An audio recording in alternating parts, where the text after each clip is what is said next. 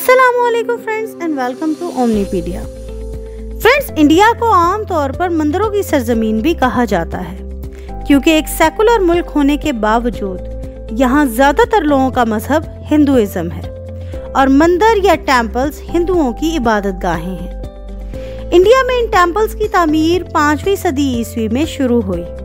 इनको एक मुख्तलिफ़ अंदाज में तामीर किया जाने लगा ताकि ये दीगर इबादत गाहों से मुनफरद नज़र आ सके। टेम्पल्स का आर्किटेक्चर इतना फ़ेमस हुआ कि एक के बाद एक बहुत से टेम्पल्स एक ही तर्ज पर तामीर होते गए। और ये आर्किटेक्चर ड्रेविडियन स्टाइल के नाम से टेम्पल्स का एक सिग्नेचर स्टाइल बन गया। ये टेम्पल्स या मंदिर इंडियंस की क्रिएटिविटी और आर्किटेक्चरल एक्सपर्टाइज का आला नमूना थे। आज मैं आपको एक ऐसे ही मंदिर के बारे में बताऊँगी, जो अपनी मुनफरद खासियत की वजह से बहुत मशहूर है। कर्नाटका के शहर हम्पी में टुंग बहादरा रिवर के किनारे एक खूबसूरत मंदिर विजयावटला के नाम से मौजूद है, जिसे पंद्रहवीं सदी में देवाराया टू के दौर में तामीर किया गया, जो रियासत विजयनगरा के एक मशहूर हुक्मरान थे।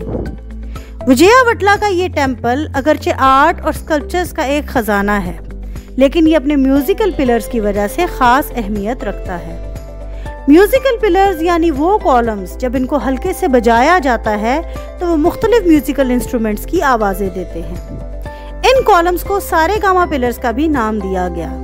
क्योंकि हर सात पिलर्स का एक क्लस्टर इंडियन क्लासिकल म्यूज़िक के सात नोट्स की आवाज़ निकालता है। इसी तरह कुछ पिलर्स म्यूजिकल इंस्ट्रूमेंट्स जैसे तबला, जल तरंग, घंटा और ढोलकी की आवाज़ भी देते हैं।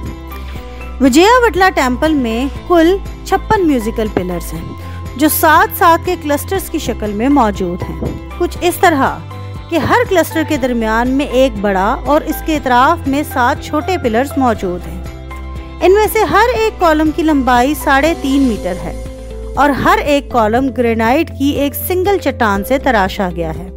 यानी इनमें कोई जोड़ मौजूद नहीं है। इनकी अरेंजमेंट इस कदर खास है कि इनके बारे में आम ख्याल यही है कि कदीम जमाने में जब इन टेम्पल्स में डिवोशनल परफॉर्मेंसेस होती थी तो पैरों की धमक से ये पिलर्स खुद ब खुद बजना शुरू हो जाते और समा बन जाता। फ्रेंड्स ये पिलर्स म्यूज़िक क्यों प्रोड्यूस करते हैं? इसके बारे में बहुत सी कियास आराइयाँ हैं, जिनकी बेसिस पर बाद में तहकीकात भी की गई। आम ख्याल तो यही था कि ये अकोस्टिक प्रॉपर्टी की हामिल चट्टानों से तराशे गए हैं। यानी वो चट्टाने जो साउंड वेव्स को इस तरह से रिफ्लेक्ट करती हैं कि इनकी वाइब्रेशन में इजाफा हो जाता है। कदीम हिंदू आर्ट लिटरेचर के मुताबिक चट्टाने आवाज़ प्रोड्यूस करने के लिहाज से दो तरह की होती हैं मेल और फीमेल रॉक्स मेल रॉक्स तीखी, जबकि फीमेल रॉक्स डल आवाज़ प्रोड्यूस करती हैं। इस तरह वो लहरें जो एक पिलर की हल्की सी धमक के साथ पैदा होती, इनकी वाइब्रेशंस दूसरे पिलर से टकराकर बढ़ जाती। और वो म्यूज़िक पैदा करने लगती क्योंकि एन मुमकिन था कि ये पिलर्स भी इन मेल और फीमेल रॉक से तैयार किए गए हों। फ्रेंड्स इंडिया पर बरतानवी हुकूमत के दौरान अंग्रेज़ों ने इन पिलर्स की मिस्ट्री को सॉल्व करने की कोशिश की। इनका ख्याल था कि इन पिलर्स में होल्स होंगे, जिनकी तादाद हर पिलर में मुख्तलिफ़ होगी, जिसकी वजह से हर पिलर मुख्तलिफ़ आवाज़ देता है। उन्होंने एक बड़े और एक छोटे कॉलम को काट कर उसका मुआयना किया। लेकिन ये तमाम पिलर सॉलिड रॉक्स के बने हुए थे। बाद अजा ये भी ख्याल किया गया कि शायद इनके साइज़ हजम और वज़न में फ़र्क हो। लेकिन पैमाइश करने पर तमाम पिलर्स का साइज़ और डायामीटर एक जैसा था। 2007 में Indira Gandhi centre of atomic research के साइंटिस्ट्स ने इन पिलर्स में से 11 मशहूर तरीन कॉलम्स पर रिसर्च की। अपनी इस तहकीक के दौरान उन्होंने नॉन डिस्ट्रक्टिव टेक्निक का इस्तेमाल किया।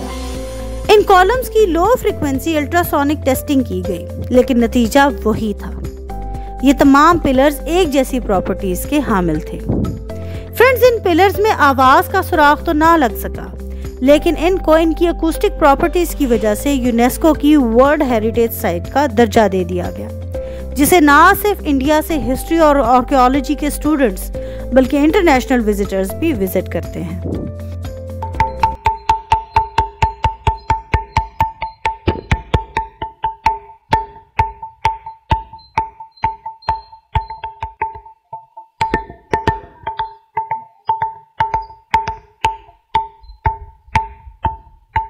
अब तक के लिए बस इतना ही।